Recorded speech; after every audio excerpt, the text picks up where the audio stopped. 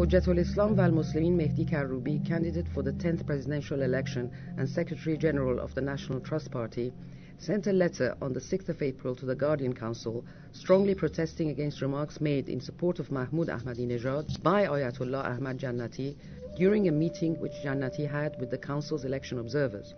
According to Saham News, the official website of the National Trust Party, in his strongly worded letter, Karoubi said that Jannati's remarks contravened the policy line announced by the leader of the Islamic Republic.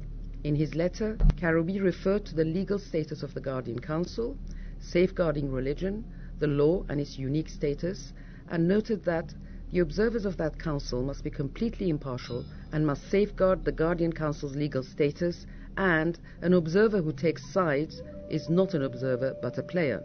Addressing Ayatollah Ahmad Jannati, the chairman of the Guardian Council, Karoubi wrote, at a meeting recently held with the 22nd Khordad election observers of the Guardian Council, you praised one of the election candidates a person who is right now the head of the government, and lauded his policy of eliminating poverty, discrimination, and reduction of deprivation.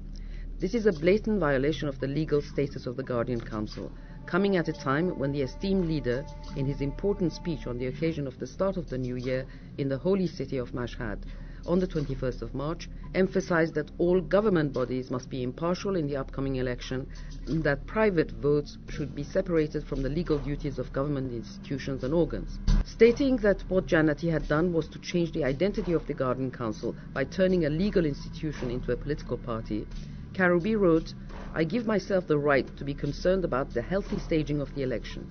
Indeed, when the most senior member of the Guardian Council defends a specific candidate in the presence of the Council's own election observers, what can we expect young observers to think except that that specific person should be the winner of the June 12th election?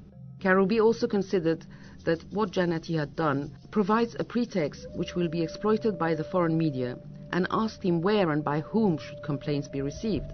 They, that is, the foreign media, have not only accused the Guardian Council, but also the system of bias in the election. Should we not be defending the integrity of the system in this regard? The Guardian Council was established so that if a government body or a group broke the rules, that council would receive the resulting complaints. Now, where and to whom can we complain against Mr. Jannati, the honorable chairman of the Guardian Council? Karoubi then pleaded with other members of the GC, saying that he had no option but to ask them to notify Jannati about this issue. He added, I emphasize that entering the election race, especially in this round, involves many problems which mainly stem from inter and intra-factional rivalries. According to Saham News, Karoubi concluded his letter by referring to his own problems in past elections, saying, In this and in past rounds of elections, groups supporting me and also officials in charge of the executive and supervisory boards were very unkind to me. I tolerated this and I have been faced with the law being violated and the votes of the people being disregarded but I warn that I will openly confront any signs of rigging and impartiality on the part of the executive and supervisory bodies. And I will share this with the people and the leader and will not permit the rights of voters to be trampled underfoot. The outcome of the election could be contrary to my vote, and anyone who wins the votes of the people is the legal president of the country. And we too respect the people's votes, but we will not give in to any transgression.